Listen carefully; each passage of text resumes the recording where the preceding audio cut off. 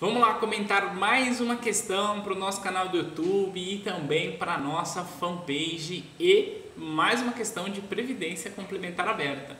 A pergunta diz assim: ó, um cliente perguntou ao seu gerente qual o órgão responsável por fiscalizar os planos de previdência complementar abertos.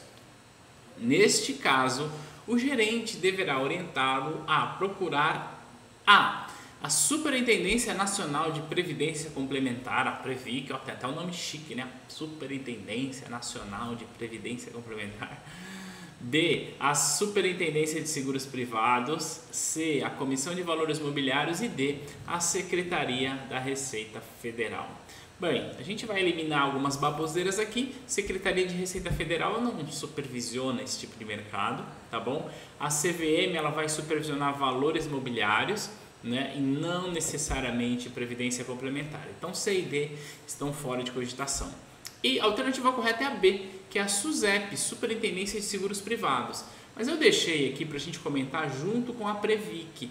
Embora a Previc não seja tema de CPA 10, é, a Previc ela é uma superintendência que supervisiona as previdências complementares também. Só que previdência complementar fechada, toda a previdência complementar fechada está sob supervisão da Previc, tá? E toda a previdência complementar aberta está sob supervisão da SUSEP na alternativa B aqui.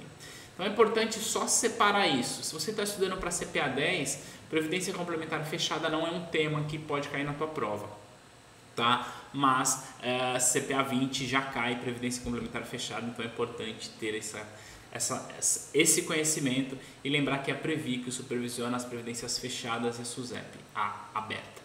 Tá bom? Alternativa correta, alternativa B. Eu espero ter contribuído um pouco mais com o seu processo de aprendizagem e a gente se vê no próximo vídeo. Tchau, tchau!